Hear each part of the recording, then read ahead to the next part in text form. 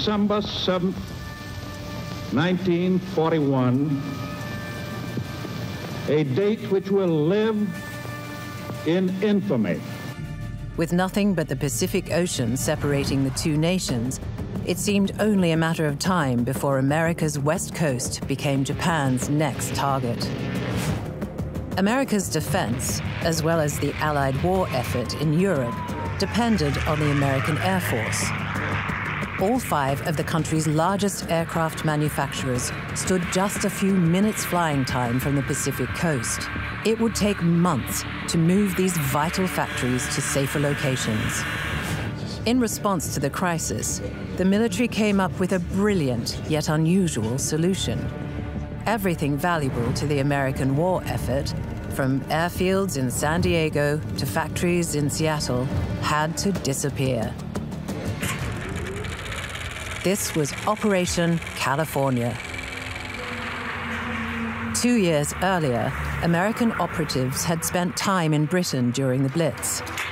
As German bombs pounded towns and cities, British military planners had built starfish sites, empty decoy towns designed to lure German bombers away from populated areas.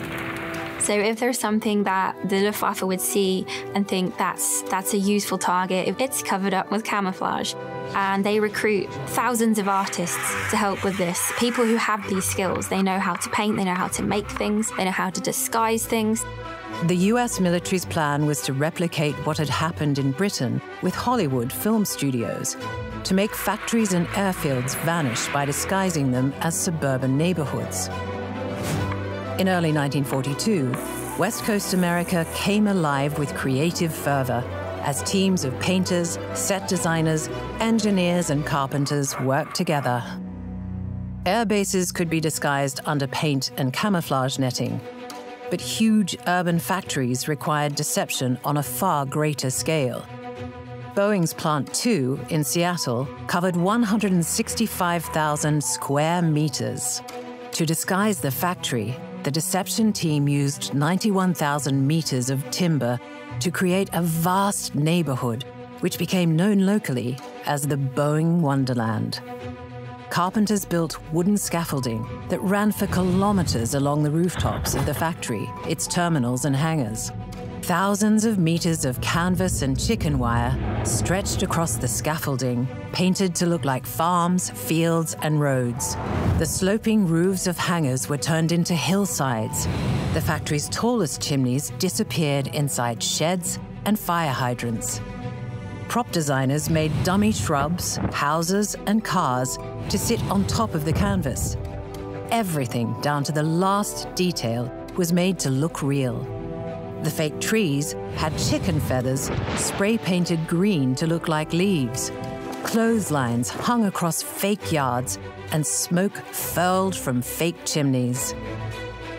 The streets even had signs and names. Synthetic Street ran perpendicular to Burlap Boulevard.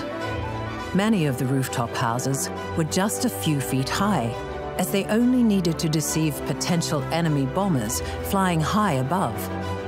From the skies, Plant 2 perfectly resembled a Seattle suburb, but underneath its camouflage, 30,000 men and women worked, producing two B 17 Flying Fortress heavy bombers each day. 34 American air bases and factories soon disappeared.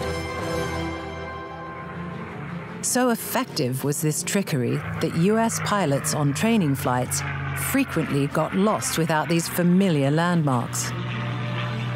Under this ingenious camouflage, the American aircraft manufacturing industry ramped up and became what President Roosevelt dubbed an arsenal of democracy.